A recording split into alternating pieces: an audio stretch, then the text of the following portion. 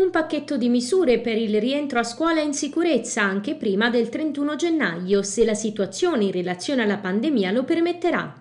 È quanto ha annunciato il presidente della regione Francesco Acquaroli, insieme agli assessori all'istruzione Giorgia Latini, ai lavori pubblici Francesco Baldelli e alla sanità Filippo Saltamartini, illustrando gli interventi destinati alla scuola e finanziati dalla Giunta con 5 milioni di euro per sanificare gli ambienti e migliorare la reazione di ogni scuola di ordine e grado e con 2 milioni per garantire la strumentazione tecnologica necessaria nei giorni di DAD.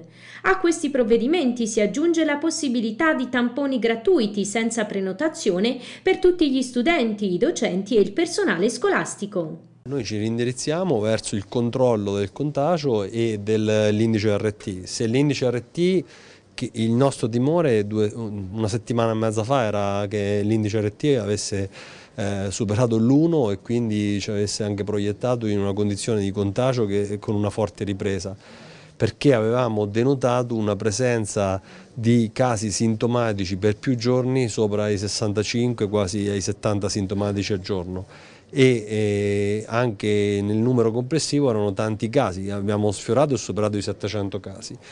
Questa settimana appena conclusa invece ci ha restituito una situazione eh, diciamo, eh, in, in miglioramento che ci fa preludere a un indice RT che non supera l'1 e una situazione anche di casi sintomatici intorno ai 50. La scorsa settimana praticamente tutti i giorni sono stati intorno a 50 casi sintomatici e praticamente quindi una stabilizzazione verso il basso di questo indice. Importante perché perché diciamo che sotto il numero dei 60 casi normalmente i ricoveri ospedalieri tendono gradualmente a scendere. Sopra il numero di 60 i ricoveri ospedalieri tendono, e anche quindi le terapie intensive, a crescere.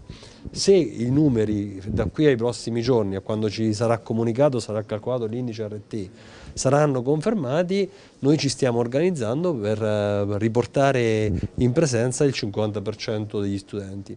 La prossima settimana ovviamente si riapriranno le scuole solamente se gli indici comunque tenderanno a scendere perché comunque gli indici prima quando noi li abbiamo chiusi erano in salita.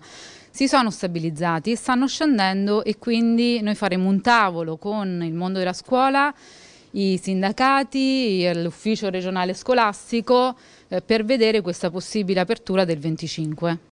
Noi stiamo lavorando da parecchio, purtroppo il governo non ha lavorato in questi mesi, in questi parecchi mesi che comunque sono trascorsi, eh, per esempio noi stiamo provando ad adottare delle misure per la reazione dei locali, perché è una cosa primaria far tornare i ragazzi in sicurezza nelle scuole. Noi stiamo intervenendo e stiamo studiando quegli interventi necessari per garantire la salubrità delle nostre scuole e delle nostre aule.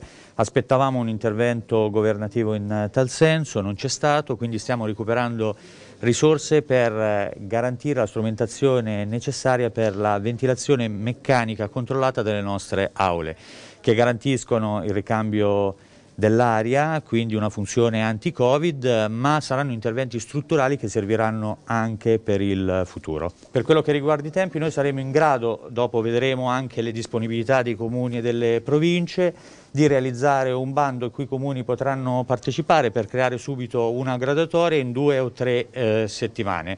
Il resto poi verrà demandato agli altri enti che sono proprietari degli istituti scolastici.